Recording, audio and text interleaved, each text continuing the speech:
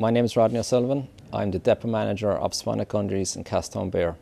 We're a net manufacturer and ship chandlers to the whitefish fleet of Ireland. We, our customer base is the whole fleet of Ireland really, uh, but we, we, we mainly base out of the southwest.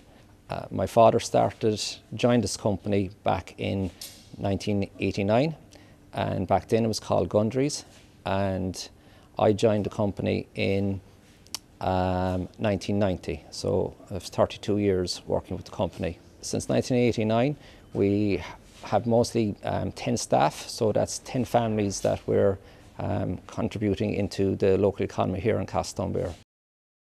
The fishing industry has changed so much since 1989. Back then, the fleet was kind of timber boats, but there was way more boats through the 90s and the 2000s, really in the 2000s and 90s, they started modernising the fleet and we have a fine fleet now in Ireland, but the government and the EU are on about decommissioning the boats.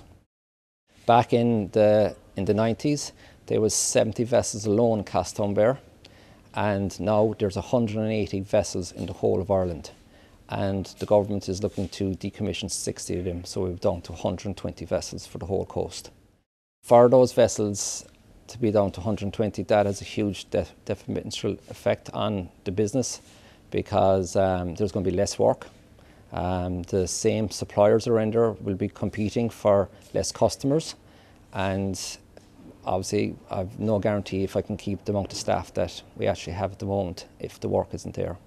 Um, is very dependent on fishing, um, not just Castletownbere, but Union Hall, Killybegs, Rossaveel, Howth. Um, the fishing, what if, if the fishing goes in Castletown, really you nearly want to block the road and just cut the peninsula off because there will be nobody here.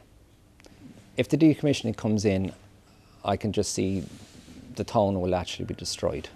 The, the pubs, the shops, everything has a spin-off of the fishing. Um, they won't be half the population here.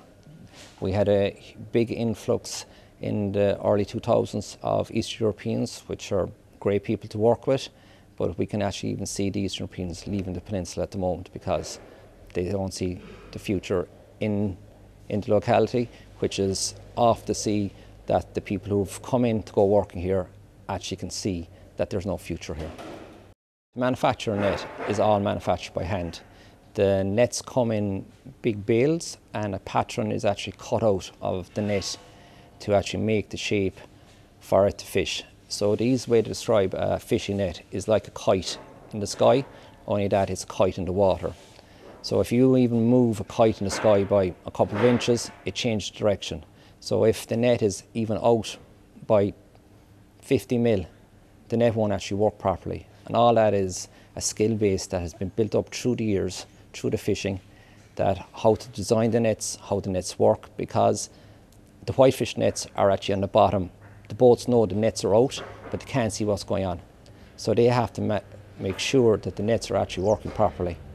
And that's actually a skill base that has been passed on from generation to generation. Everyone knows how to mend nets came through the fishing industry. They start off on deck, they start mending nets, they learn the skill. So the majority of my employees actually are ex-base fishermen that start off fishing in the beginning. Well, if the fishing goes from the locality, that skill base is totally gone because it's unique to the fishing locality. If you went into Cork City, you don't need that skill base.